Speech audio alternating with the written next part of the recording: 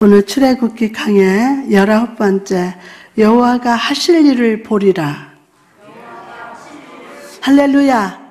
귀한 예배를 허락하시고 함께 모여서 말씀으로 은혜 받게 하신 성령님을 환영합니다.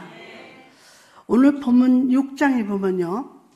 하나님 앞에 엎드려서 원망하고 두려워하는 모세를 향하신 하나님의 은혜로운 음성을 듣게 됩니다. 1절 같이 읽습니다. 시작. 여호와께서 모세에게 이르시되 이제 내가 바로게 하는 일을 내가 보리라. 강한 손으로 말미암아 바로가 그들을 보내리라. 강한 손으로 말미암아 바로가 그들을 그의 땅에서 쫓아내리라. 아멘. 다른 이스라엘 백성들이라면 몰라도 모세는 하나님 앞에 원망하거나 화를 내면 안 되었습니다. 그는 떨기나무 불로 임하신 하나님을 만난 사람입니다. 지팡이가 뱀이 되고 나병이 치유되고 말이 어두운 그로 위해서 아론을 준비하신 하나님을 만났습니다. 모든 상황 가운데서 하나님의 그를 붙들고 힘을 주시고 인도하시고 계심을 아는 사람이었어요. 그런데도 모세는 사단의 방해와 사람들의 비난 앞에서 연약한 한 인간의 모습을 그대로 보여주고 있었다는 것입니다. 여러분, 이 모세의 연약한 모습을 통해서 우리는 인간의 본질을 발견하게 됩니다. 인간의 본질. 시편 기자는 인간의 본질에 대해서 이렇게 고백을 합니다. 시편 103편 14절에 이는 그가 우리의 체질을 아시며 우리가 단지 먼지뿐임을 기억하심이로다. 우리가 단지 먼지뿐임을 기억하심이로다. 그리고 그런 인간을 향한 하나님에 대하여 성경 이렇게 소개합니다. 10편 103편 8절에 여호와는 궁일이 많으시고 은혜로우시며 노하기를 더디하시고 인자하심이 풍부하시도다. 하나님께서 모세가 먼지만도 못할 만큼 연약한 존재임을 아셨습니다. 때문에 주님께서는 징벌하지 않으시고 격려하셨고 모든 자비하심으로 그에게 친히 나타나 주셨음을 믿으시기 바랍니다. 이처럼 오늘 또 우리와 함께 하시는 임마누엘 하나님 예수 그리스도는 우리의 연약함을 아십니다. 우리가 마음속으로 얼마나 두려운지, 삶의 침이 얼마나 무거운지, 영으로 얼마나 신음하고 있는지를 잘 알고 계십니다. 왜 그렇습니까? 그분도 겟셋만의 동산에서 동일한 고통과 두려움을 경험하셨기 때문입니다. 여러분, 예수 그리스도는 오늘도 우리와 함께 하십니다.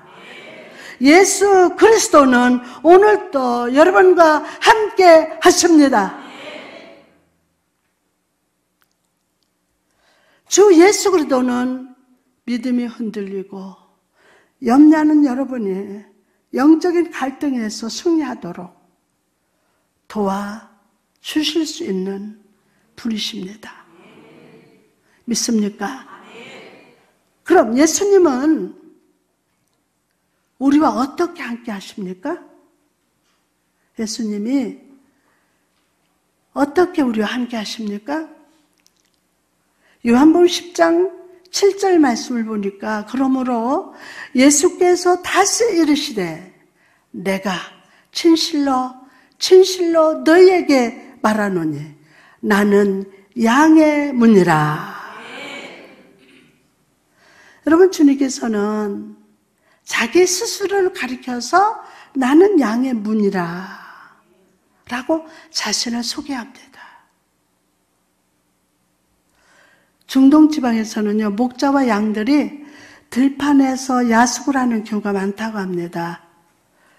일단 야숙할 장소가 결정되면 목자는 양들이 밤을 무사히 지낼 만한 임시 울타리를 만든대요. 목자는 주변에 떨어진 돌을 주어서 담을 쌓습니다. 특이한 것은 출입구에 문을 만들지 않고 바로 그 출입구에 목자가 누워서 잠을 잔다는 것입니다. 출입구에. 늦은 밤 도둑이나 늑대와 같은 맹수가 양을 잡아가고 싶어도 목자가 누워있는 그곳을 지나가지 않고서는 절대로 양을 끌고 갈 수 없게 하기 위해서입니다. 심지어 어떤 목자는 양들을 지키기 위해서 영하 20도가 넘는 추위의 날씨에도 양들이 있는 우리 앞에서 모포를 덮고 잠을 잔다고 합니다. 여러분, 이처럼 선한 목자, 예수 그리스도는 우리 인생의 입출입구에서 친히 문이 되어 주심을 믿습니까?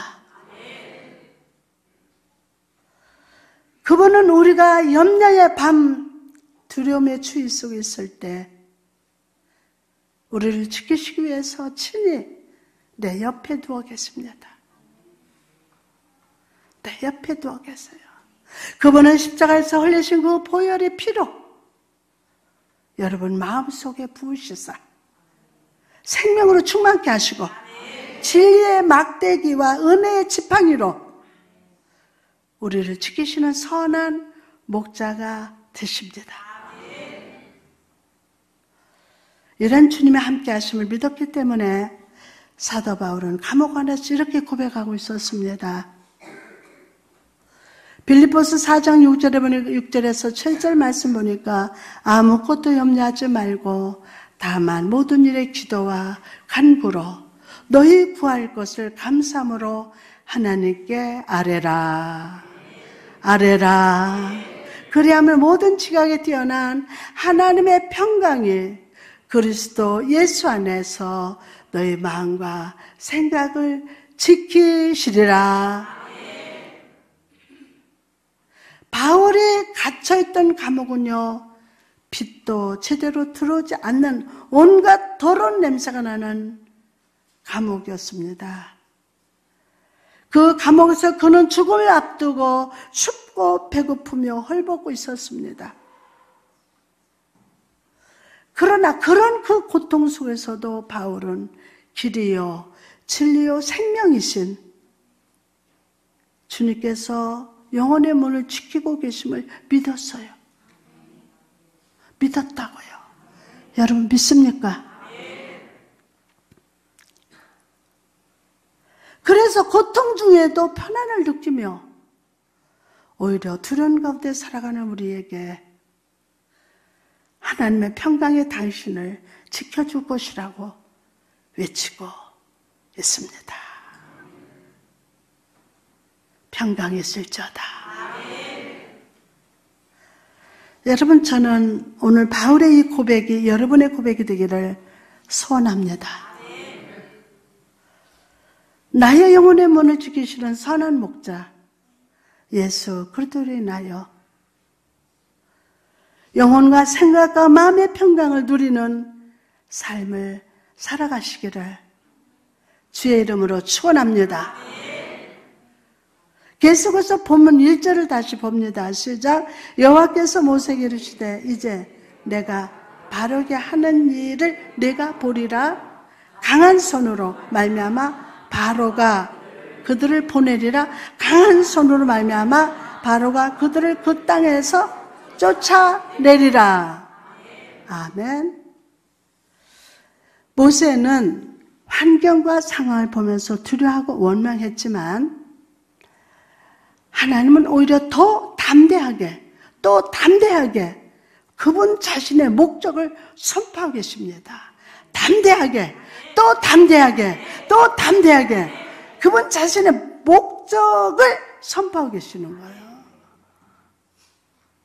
바로 왕은 절대로 이스라엘을 내보내지 않을 것이라고 장담했지만 하나님 아버지께서는 그런 사람의 말에 아니다 라고 말씀하시고 아니다 오히려 그 바로가 너희를 이 얽매임의 땅에서 쫓아낼 것이라고 선포했습니다. 그렇습니다. 세상은 흔들리고 사람은 변해도 하나님의 모략을 굳게 설 겁니다. 굳게 설 겁니다. 하나님의 결심은 그 마음 속에 품으신 모든 일을 이루실 것임을 믿으시기 바랍니다. 여러분, 두려워하는 모세를 향해서 내가 바로에게 하는 일을 너가 보리라. 너가 보리라고 말씀하신 하나님은 오늘 여러분과 함께 하십니다. 함께 하십니다. 아멘. 그러면 우리의 대적마귀가 아무리 우르짖고 노를 발한다 할지라도 전능자 하나님이 함께 하시면 아무것도 할 수 없고 방해할 수도 없습니다. 아멘.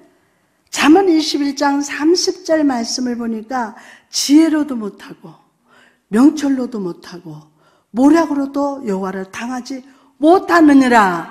할렐루야. 여러분 하나님의 계획표에 혹시 라는 단어나 아마 라는 단어 없습니다. 없습니다.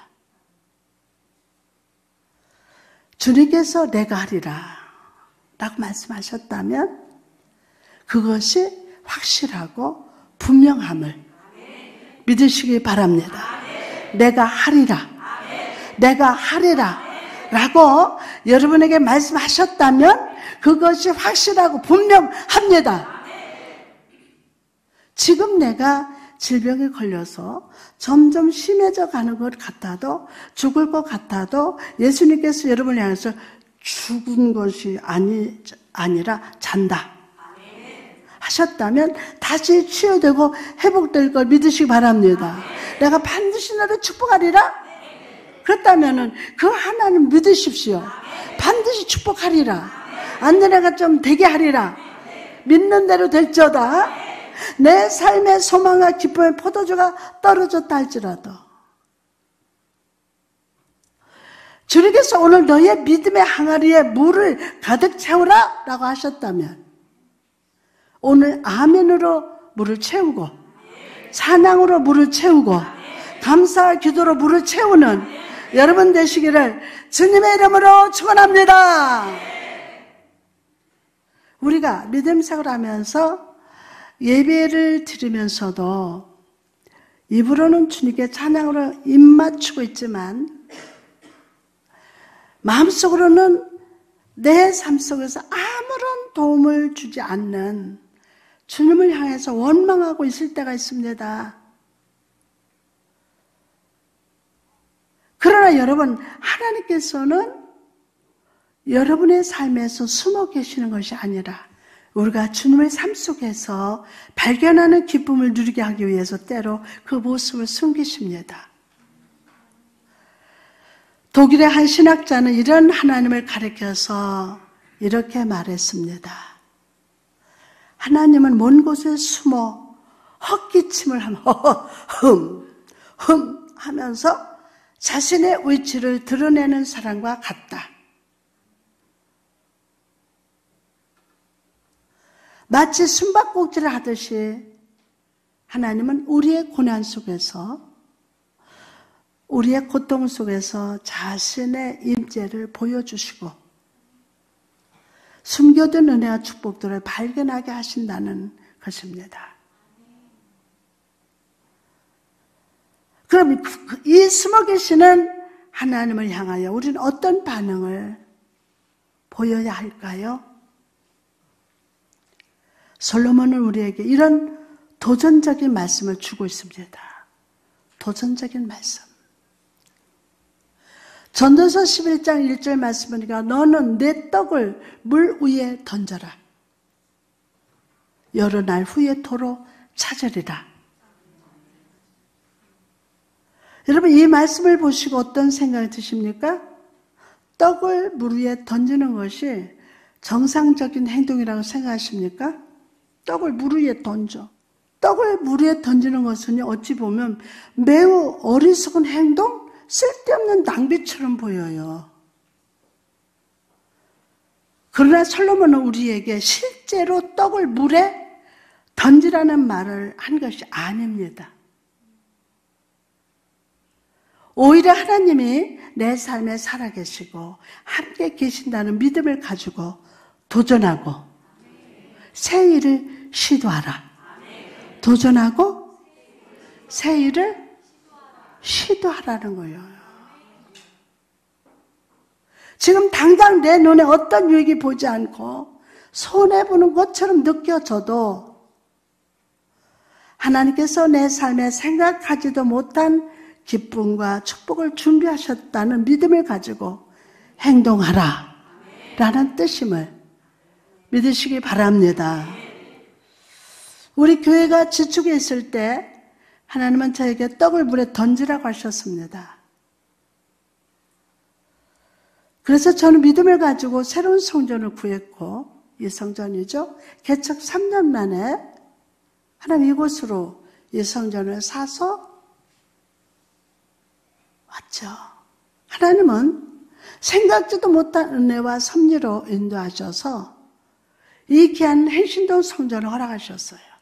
기대할 수 없을 때에 하나님을 기대했더니 기대 이생의 축복으로 응답하셨어요. 나가서 하나님께서 두려워하는 모세의 마음을 강건케 하기 위하여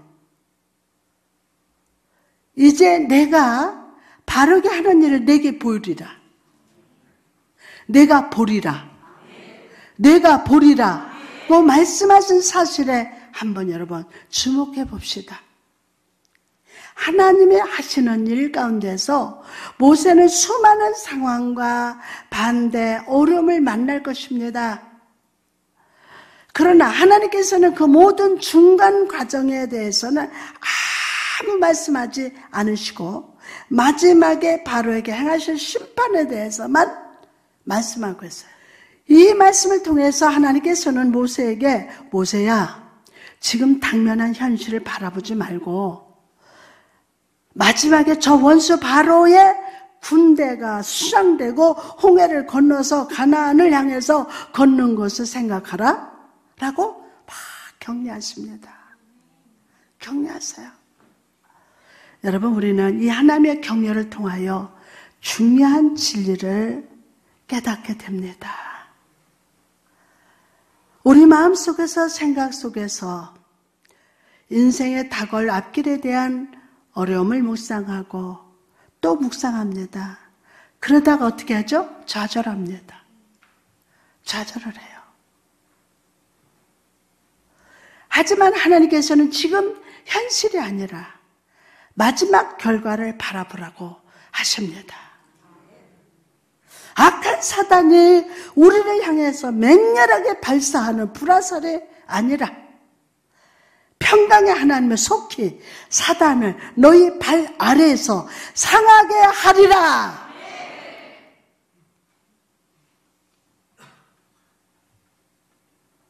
라는 그 결과. 상하게 하시리라. 라는 결과.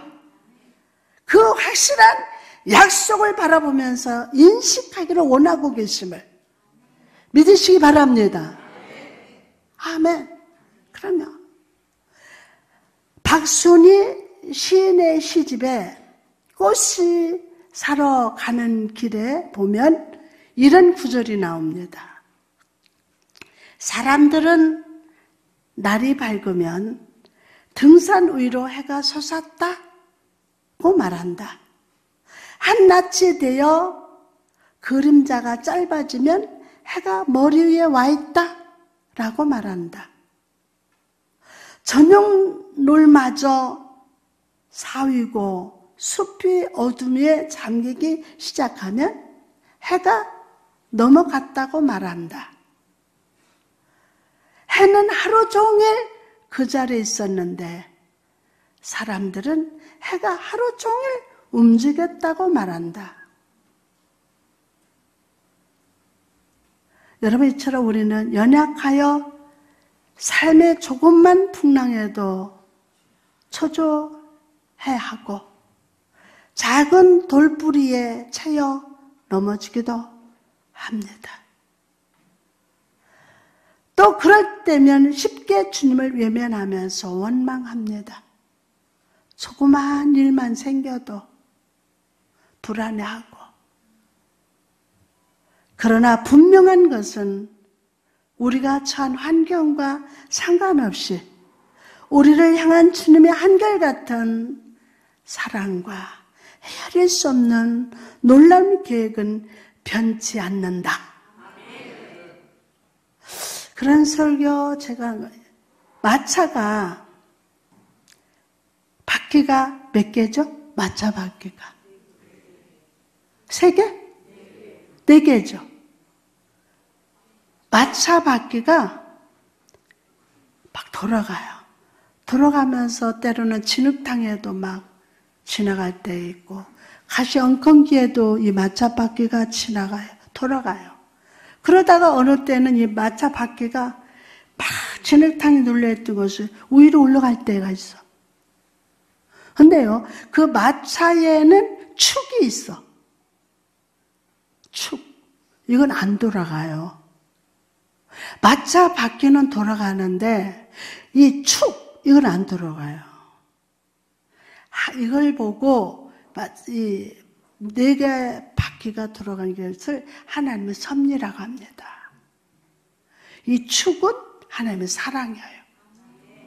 인생이 저 밑바닥에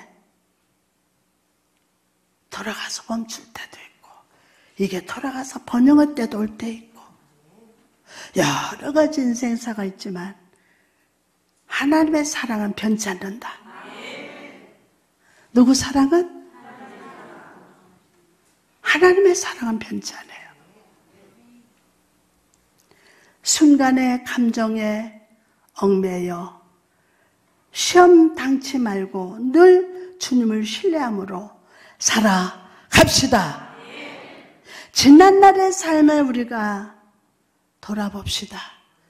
내가 결정하고, 내가 행동하고, 내가 모든 것을 다 행한 것처럼 보이지만, 사실 모든 순간 속에 하나님이 말씀하시고, 하나님이 준비하시고, 인도하셨기 때문에 여기에 있는 겁니다.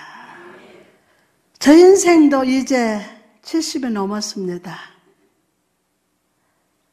지난 날을 돌아보면 하나님께서 가라 하실 때 갔고 그것을 행하라 하실 때 순종했으며 시계를 주시고 멈추라고 하실 때는 기다렸습니다. 그랬더니 저의 부족함과 연약함에도 불구하고 꿈꾸던 것이 이루어졌습니다. 그러므로 여러분 다가오는 내일의 불확실성 때문에 두려워하거나 불신의 사람으로 살지 말고 불신의 사람으로 살지 말고 나의 삶의 주체가 되시사 오늘도 일하시고 인도하시고 오늘도 일하시고 인도하시고 오늘도 일하시고 인도하시고 할렐루야. 완성하시는 여호와 하나님의 결론을 신뢰하며 살아가시기를 축원합니다.